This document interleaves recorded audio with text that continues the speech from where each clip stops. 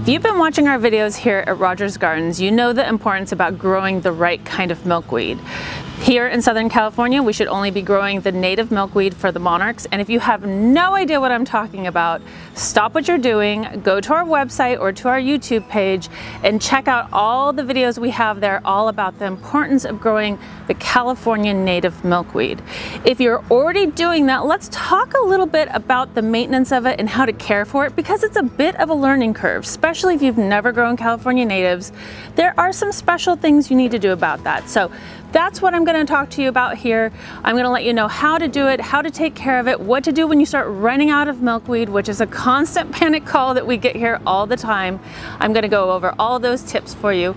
I'm Sarah Smith, a horticulturalist here at Rogers Gardens, and let's get right into it.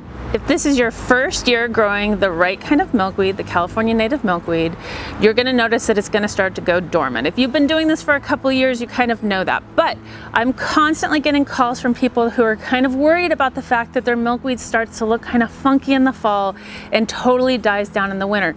That is a good thing. That's what you want it to do. That's why this is the right kind of milkweed to grow. You want the one that actually goes dormant. So people kind of panic because they're not used to things going dormant here in Southern California. Our plants usually don't do that. So in the fall time, if it's starting to look particularly bad, the leaves are completely brown, it's not looking good at all, you can cut it to about six inches from the ground and just leave the stalks there because it's pretty much died back there's still some green foliage, try to live through it as long as you possibly can because that green foliage is actually still photosynthesizing and adding all those good sugars down into the roots. So it's storing up all the energy for next year. So try to leave it up as long as you possibly can if they're still green. If there's brown, go ahead and cut it down to about six inches. So you're gonna leave a little bit of a stem there and that will kind of slowly die down on its own over the winter, store all that good nutrients in the ground so it comes back with a nice flourish the next year. A lot of concerns I hear from people is that when they're looking at their milkweed, they notice, especially round at the top, tiny little orange dots. Those are actually oleander aphids. And that also is kind of a good thing. They are sucking sap from the plant, taking a little bit of energy from the plant. They're not gonna harm your monarch caterpillars at all.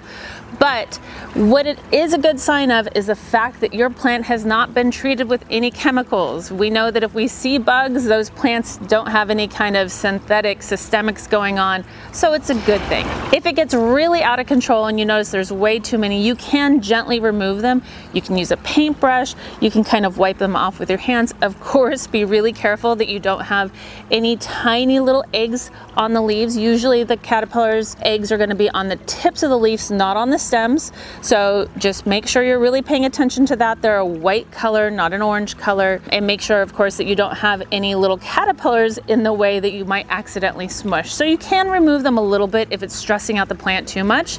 But if it's not, just kind of let nature take its course. That is the whole point of this, is we wanna let nature do the thing it's supposed to do. And it's the whole reason we're having problems with the monarch population in the first place is way too much human interference. Another concern I get from guests all the time is that their caterpillars have completely eaten through all of their milkweed and they have none left. So my number one advice to you at that point is do not run out and undo all the great work that you've done with your native milkweed and in a panic buy tropical milkweed. Especially don't buy it from a store that you don't know whether or not they've treated that milkweed with BT which will kill all of your baby caterpillars. I've heard so many sad stories of people doing that just in a panic. They run out and they buy the tropical, they feed it to all their little baby caterpillars and they all turn black and die. That's because that milkweed has been treated with BT. The nurseries do that because they don't want to grow a bunch of plants, have them all eaten down before they send them out to the nursery. We actually contract grow our milkweed, the native only, to not be treated with BT. So that means when you buy your milkweed from us, you'll often see baby caterpillars on it. So don't undo all that great work that you've done. There are things that you can actually give your older caterpillars instead instead of milkweed, only if they're in the older stage. But if they've eaten through it and they're bigger, you can give them pumpkin, which is amazing because this is the time when you can buy pumpkins in the fall, right? You can also give them a little bit of cucumber. Sometimes they'll eat melon, butternut squash as well. Not watermelon though, however. I notice it's usually only honeydew uh, or cantaloupe, but the larger caterpillars will eat that. So if they've eaten through all that milkweed and you've got a big bunch of fat, hungry caterpillars, they will eat this. The smaller ones will not, however. But that's another thing that I want you to all really think about. If this is the time in your garden when your milkweed should be dying down, you don't want to encourage all those butterflies to keep laying more eggs. The whole point is have them do their natural cycle. And the natural cycle is that milkweed out in nature is starting to die down. No one's tending it. And that's when the super monarchs come out, the ones that overwinter, that don't need to lay eggs. They stay around till the springtime when the new stuff comes out. So really think about what you're doing in your garden. Really think about what the natural process should be. Really think about where you're buying your milkweed. Make sure it's not treated. Make sure it's a California native. And that's where you can feel really confident that here at Rogers Gardens, that's the only thing we sell. So I know here in Southern California, we are so used to having perfectly manicured gardens. That is something that we really pride ourselves on because you can garden year round here in Southern California and it's really hard for us to see things go dormant. But in this situation with the milkweed, this is where you really need to kind of give up a little bit of control to Mother Nature and let it do its thing. So when it starts to look ratty and die back, don't cut it back until you really see that really doesn't have any more green. Try to leave as much green on it as long as you possibly can because it's storing all that good stuff in the roots for the next year. And don't run out and buy the wrong thing just because you're afraid that all of your caterpillars are starting to starve because they've eaten through it all. Make sure that if they're bigger ones, you can give them that cucumber or those pumpkins, but just let Mother Nature take its course. That is a really important part of nature nature. And it's a really big reason that we're struggling with the monarch population in the first place is all the human interference. So that being said, make sure you come in, get your untreated milkweed, make sure you have enough plants, about 10 plants in a yard is good.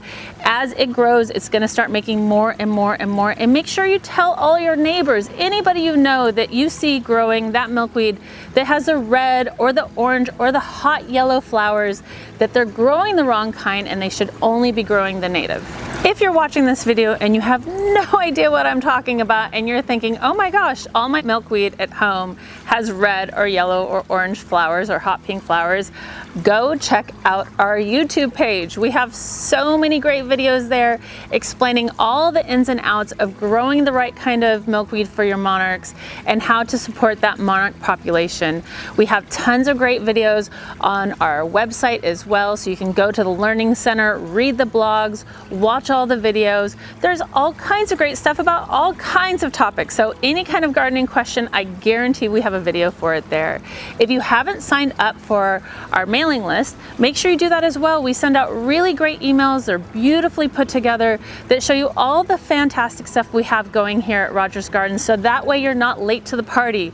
We always have really fun things that happen, but a lot of that stuff sells out really quickly or just runs for a short period of time. So make sure you go and check that out as well.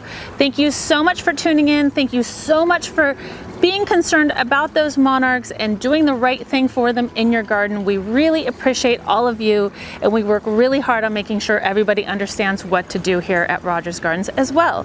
So thank you so much. Be well, be safe, and happy gardening.